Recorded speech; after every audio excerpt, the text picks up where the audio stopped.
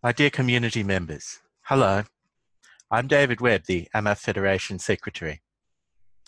As most of you all know, Metropolitan Melbourne, Mitchell Shire, and many suburbs are now in stage three restrictions. So that includes most suburbs of Melbourne, and it includes Melton, which is a satellite city where I am. However, it excludes Geelong. If you live in one of the areas that have been affected by these restrictions, then the rules are the same as they were the first time we went into stage three. That is, you need to stay at home unless you have one of the following four reasons to leave your home to go to seek medical treatment. This is one. So the doctor and the pharmacy. To go uh, to work or study, but only if you're unable to do so from home. Um, if you've got an office job or that sort of thing, you can make an arrangement with your employer to stay at home. But if you're frontline, then you may need to still go to work. To go out and buy food. So it's work, study, food, or medical treatment. These are the four reasons why you can legitimately leave your home. And there are fines and other penalties if you ignore those restrictions.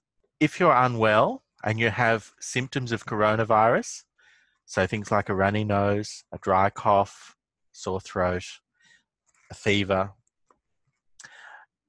chills, a cough, loss of taste or smell, then firstly, you should be self isolating. That means being away from everyone, including other family members, distancing within your home as much as you possibly can. Secondly, you need to get tested. And uh, to get tested, there are mobile testing centres. It's a good idea to call your GP first and ask for a recommendation as to where you can go. Some GP clinics are running testing themselves. Often that's the, the larger clinics. And some are simply making a referral to the local testing centre. If you live in an area uh, with a high population density where the testing centre um, gets a lot of traffic, then there may be a queue at the testing centre. In that case, um, being a drive through testing centre, you would have to remain in your car for some time. And uh, it may be better to talk to your GP first about what the alternatives are to avoid having that wait, especially if you have children and young people uh, or aged people with you who would like to avoid that inconvenience.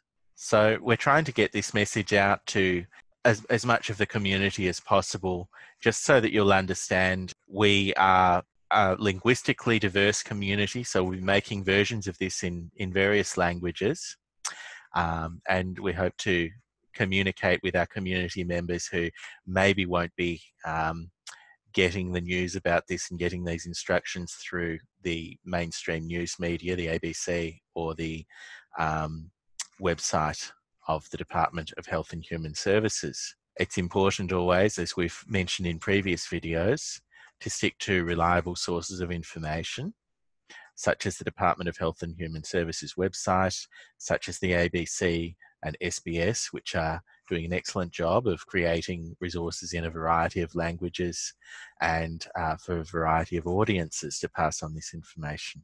Thank you very much for your attention. And um, on behalf of AMAF Federation, I hope you all stay safe and stay healthy.